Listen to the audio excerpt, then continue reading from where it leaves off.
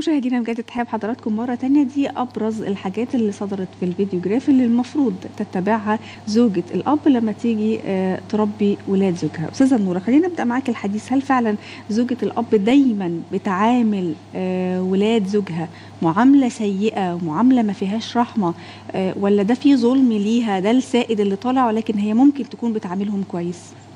بسم الله الرحمن الرحيم. الحمد لله والصلاة والسلام على رسول الله وعلى آله وصحبه من والاه. أولا أسعد الله صباحكم وصباح جميع المشاهدين. آه زوجة الأب المظلومة أحيانا و... والمحترمة غالبا لكن اللي بيصير أنه في أسباب للظلم أو لأنه كون أنه هي شريرة.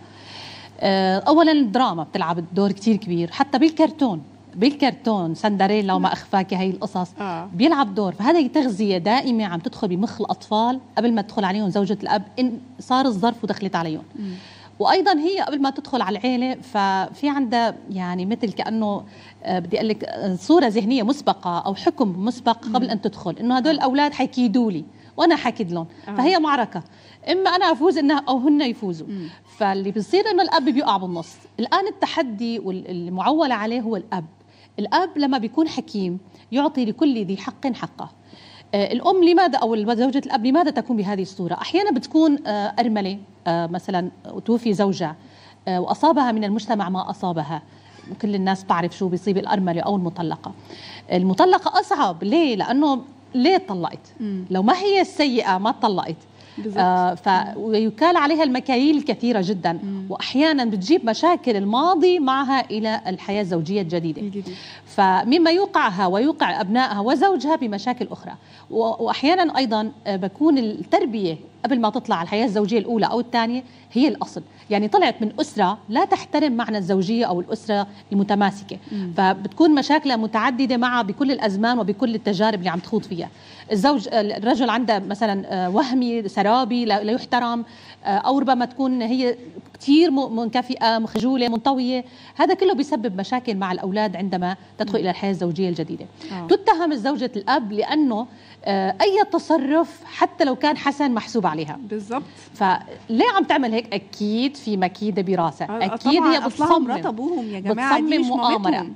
إذا دخل البابا معها على غرفة النوم فأكيد عم تحكي علينا. وأحيانا بتحكي ما, ما رح نتهم ولا نحط الطرف على الحق على الأب بس. أحيانا الأم أو زوجة الأب أيضا تضع آه، الكثير من الادعاءات والتهم. أمام الأب لأجل أنه ينتقم من أولاده يكون عذبوها بالنهار آه. فلحتى مساء ياكلوا مصير نورة زي ما بتجيلنا رسائل إيجابية بتجيلنا رسائل سلبية إن في برضه بعض زوجات الآباء من غير ما الولاد يعملوا لها أي حاجة هي شايفة إن دول مكان ضرتي فأنا بطلع غلبي فيهم وده ياخدنا النقطه بقى في بعض الناس تقول لك هي لو الزوجة متوفية بيكون الجانب العاطفي عند زوجة الأب أكبر صح. فبتشفق عليهم وبتشوف إن هو يتيم فبتحتضنه فما بيكونش فيه يعني المشاكل الكبيرة اللي بنسمع عنها. لكن لو هي عايشة الزوجة وهو مطلق بس. لا تبقى المشاكل أكبر وده راح عند أمه وجاب لي أخبار وعمل مش عارف إيه وتنزل عليهم بقى إيه تبهدلهم. هل ده فعلا صحيحي؟ يعني وجود الزوجة الأولى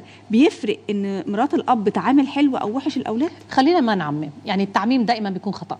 أحيانا الأم أم الأولاد بتكون لها دور في يعني إفساد العيلة الجديدة أو إفساد الأسرة وحياتها السعيدة. ربما إذا ابتعدت الأم ما بتكون عندها تغذية سيئة دائما الأولاد بيجوا على البيت محملين. فعلا بعد الزيارة غالب الأولاد بتغير سلوكهم. واحيانا بتكون العكس. ماما ديروا بالكم على عائلتكم خلص أنا طلعت من العيلة. عيشوا حياة الآن جديدة. ديروا بالكم على البابا. فرجوها لمرت الأب أو لزوجة أبيكم إنه أنتم مناح مرباين أنتم تربايتي. آه. آه شايفة شلون؟ المعول الآن بإيد الأم السابقة. الآن الأم الجديدة أو زوجة الأب هي أمام تحدي كبير جدا. يعني خلينا نكون منصفين. سواء كان في بالها أفكار سيئة مفسدة فخروجها للسلوك بيكون متعب لها وللآخرين. كل الناس عندهم آه خاطر شيطاني وخاطر إيماني فديروا بالكم زوجات الأب الآن كلام لهم آه أي تصرف محسوب عليكي؟ أي كلمة بتقوليها محسوبه عليك ادرسي يعني هذه هي فرصة لك لحتى تعدلي سلوكك وكلامك. أستاذة نورة كل ف... كلمة محسوبة عليها؟ يعني دلوقتي زوجة الأب بتقول لك طب أنا ذنبي إيه؟ إن هم يحسبوا عليا كل كلمة وكل تصرف وأنا أوقات كتير بتبقى نيتي كويسة ولكن بتحمل آه، على غير محملها الصحيح لا يشفع لها لا يشفع لها قولا واحدا. ليه؟ لأنه حتى الأم الآن بالبيت لما بكون أولادها أمامها وتخاطبهم بغير يعني نيتها غير سلوكها يحسب عليها.